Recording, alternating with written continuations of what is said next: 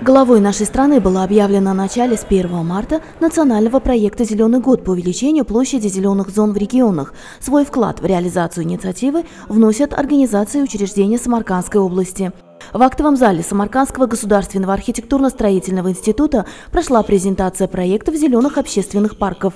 Каждая организация представила информацию по территории, где планируется посадка декоративных деревьев и рассказала, какие виды подобраны.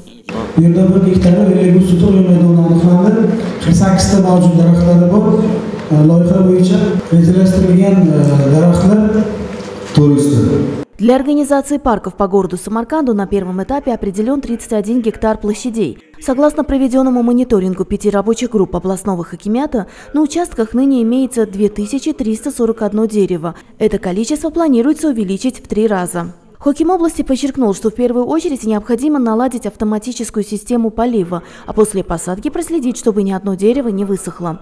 Парки будут образованы на площади Куксарай, махаллях Хамида Алимджана, Мотрид, Буньот, Афросиоп, улицах Садриддина Айни, Шахи-Зинда, Умара Хайяма, Регистанской, Узбекистанской, Нарпайской, Вахида Абдулаева и других. Будет засажен деревьями Минский бульвар.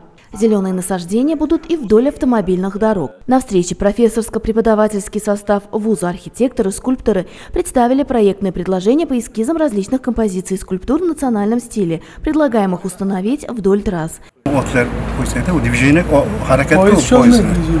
uzoqdan shunaqangi chiroyli ko'rinadi endi ikkinchi variantda ana egzotning otlarini qo'ysak deyapmiz o'zimizda miniatyuralar bor mana unaqa chiqadida После объявления конкурса и одобрения наградосовете будут определены суммы работ, которые начнутся в ближайшее время.